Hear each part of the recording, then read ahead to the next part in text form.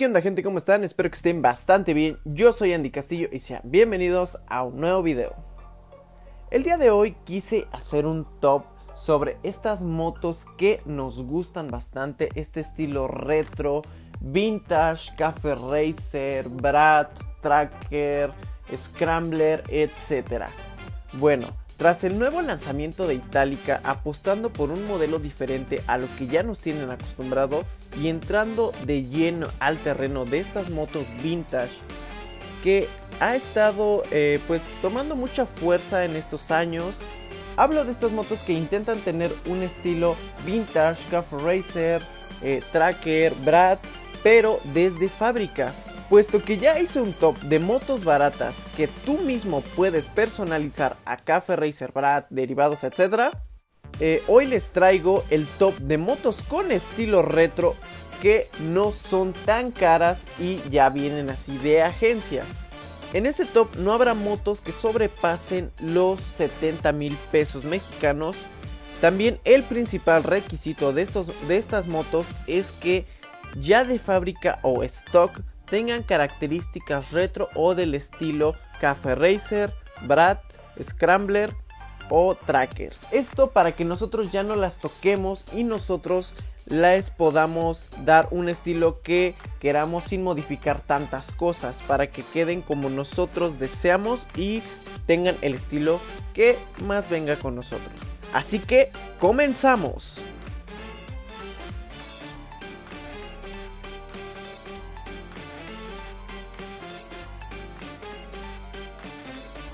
Para comenzar el top tenemos la moto de Dynamo llamada KF Racer con un motor 150 centímetros cúbicos y una potencia de 10.5 caballos de fuerza, un tanque de 9 litros que la marca dice que te da un rendimiento de 40 kilómetros por litro, una velocidad alcanzada, o sea, máxima de 80 kilómetros por hora según el fabricante. Esta moto tiene tres variantes de color, azul con blanco, verde con amarillo y café con blanco. El precio de esta moto ronda los 19.500 pesos a 21.000 pesos mexicanos. En lo personal siento que le falta algunos detalles para que resalte el estilo, pero también siento que es una base muy buena. Siento que pudieron haberlo mejorado más, pero por el precio siento que está muy accesible. Siento, como repito, es una muy buena base para que la podamos terminar y moldear a nuestro gusto.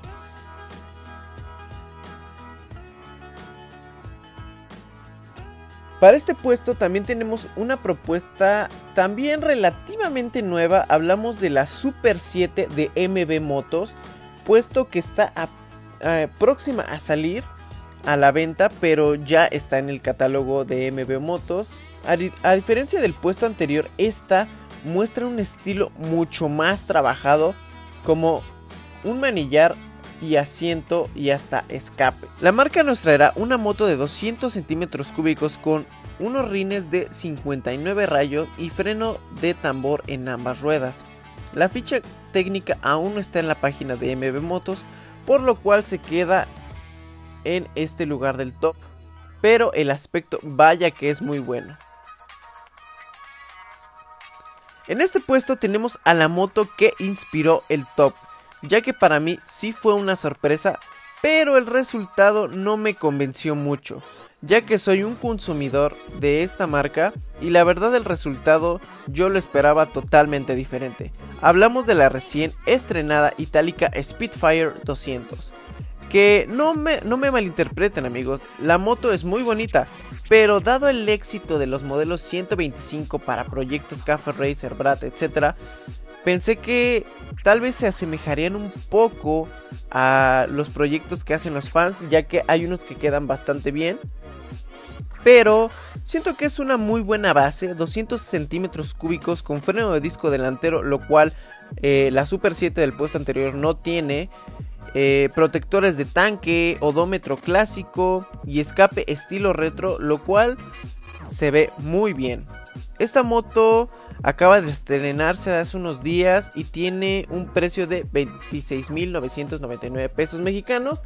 Habrá que ver cómo se desempeña ya en las calles y esperemos hacerle un review Y pues vamos con la próxima.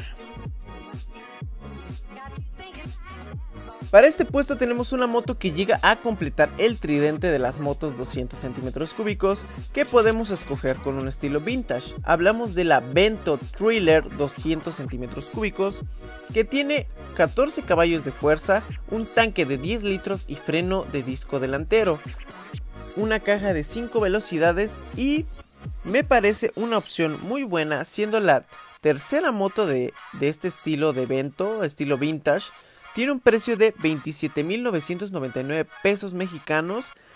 La verdad, precios casi parejos con la Spitfire de Itálica. Siento que ahorita ya tenemos eh, de dónde escoger en la cilindrada 200. Tenemos la Super 7, la Spitfire y esta Thriller 200. Y ustedes amigos, ¿cuál escogerían de estas tres? Póngala aquí en los comentarios. Ok, ahora nos encontramos con otra moto. La siguiente moto regresa a una baja cilindrada con 150 centímetros cúbicos. Hablamos de la Motomel Cafe Racer que por el momento solo la he encontrado en Liverpool para poder adquirirla.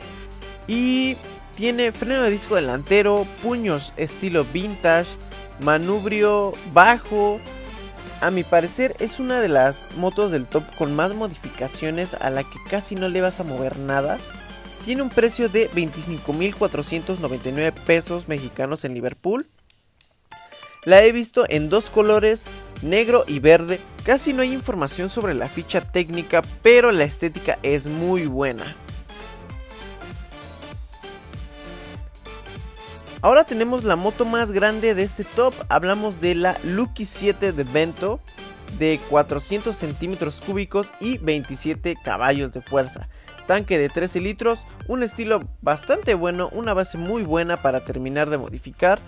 Tiene un precio de 59.999 pesos mexicanos, que para una moto 400 centímetros cúbicos está muy bien, puesto que aún no es una moto de origen chino. La verdad, les voy a ser sinceros. Esta fue la moto, la primera moto vintage de evento, pero a mi parecer no tuvo un éxito o recibimiento muy grande a comparación de otra moto que está en este top. Pero si te gusta, siento que puede ser una base muy buena, que se puede hacer cosas maravillosas con ella. Así que si te gusta este, e, esta motocicleta y necesitas un cilindraje más grande de 250, la Lucky 7 es para ti. Ahora tenemos una moto 250 centímetros cúbicos que en cuestión de estética me fascina. Tiene un look bastante hermoso, me gusta mucho, pero el asiento pues sí es algo durito. Pero sabemos que esta es una principal característica de este tipo de motos Cafe Racer Vintage. Aunque la, la marca la llama Tracker, pero pues tú la ves y dices, es una Café Racer. Pero en gusto se rompen géneros. Ustedes si la compran ya sabrán qué estilo darle, ¿no?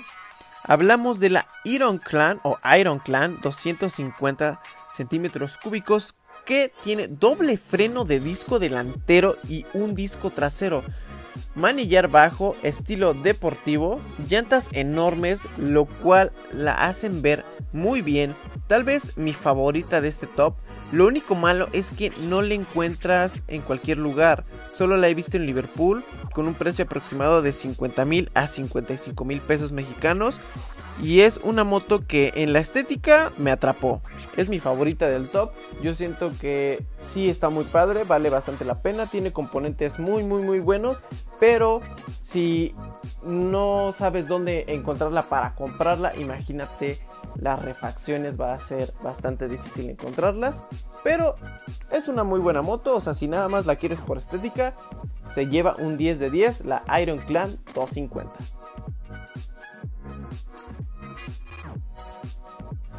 Ahora sí amigos, para finalizar el top tenemos la que a mi parecer es la moto con estilo vintage más barata, más querida por el público. Hablo de la Vento Rocketman 250.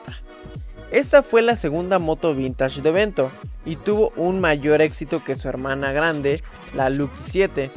porque tiene un precio más accesible, una estética aceptable, un motor 250 centímetros cúbicos con 17 caballos de fuerza, un tanque de 20 litros, tacómetro digital, freno de disco en ambas ruedas y tiene un precio de 32.999 pesos mexicanos.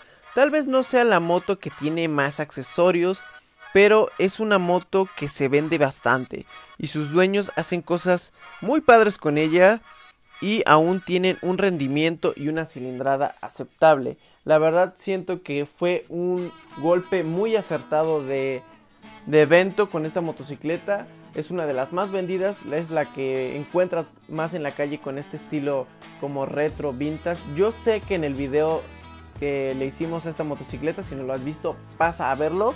El review de la Rocketman 250. Yo dije que tiene un aspecto como la Nighty Racer, que yo la considero como una Scrambler pero la marca te la está vendiendo como una Cafe Racer. La verdad, pues una Cafe Racer no es, pero tampoco es una Scrambler, así que la denominaremos como una Brat, más o menos. Pero ya si tú la llegas a comprar, tú le puedes hacer el estilo que tú quieras, por eso se hace este top. Y ustedes díganme qué moto del top se comprarían yo la verdad estoy enamorado de la Iron Clan, pero pues esta nueva propuesta de, de Itálica me, me, convence un poco. Ustedes saben que tengo una FT125 que la estoy intentando hacer este Bratz, no Cafe Racer, porque luego les haré un video este explicando la diferencia entre este mundo porque sí es muy grande el mundo de las modificaciones de las motocicletas pequeñas o clásicas y pues nada amigos, yo soy Andy Castillo. Dale like a este video si te gustó, compártelo con tus amigos, suscríbete a este canal, ya estamos a punto de llegar a los 2000, muchas gracias. Síganme en mi Instagram Andy Snake Castillo para que estén enterados de qué cosas estamos grabando, ya que todo se sube primero ahí antes que a YouTube para que vean qué motos vamos a estar probando, qué videos se van a hacer y también pasen a la página de Facebook que la puedes encontrar como Andy Castillo 7 o Andy Castillo normal para que me puedas mandar mensaje y también podamos interactuar. Ya saben, yo soy Andy Castillo y nos vemos hasta la próxima. Chao.